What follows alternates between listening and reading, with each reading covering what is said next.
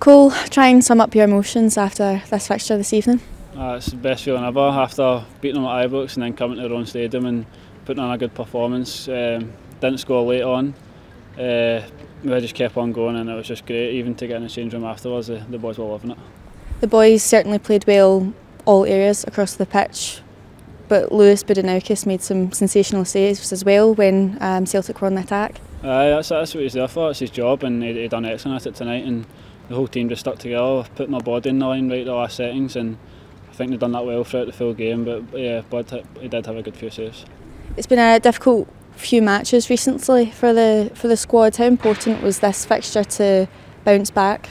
Yeah, we, we lost at the weekend there and we had the meeting on Sunday morning and just it was a bit of a character and an identity and today we've, we came here and we've showed what we're made of and what we can do and we just need to focus on Friday now, we've got Gala at home so this game doesn't mean anything if we don't go win that. It's a different environment this evening, obviously playing at Ibrox, having the home support, but tonight having um, the home support at Parkhead, how important was it for the boys to block out that external noise?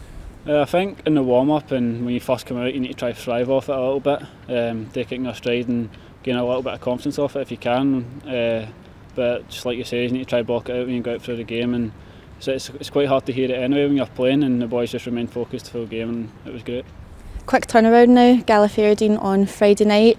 What's the preparations going to be looking like for the squad in such a short period of time? Aye, well, celebrations at the end there. We've also got that game uh, on Friday. Uh, so we'll be in tomorrow recovering and then we'll get a session in and away we go.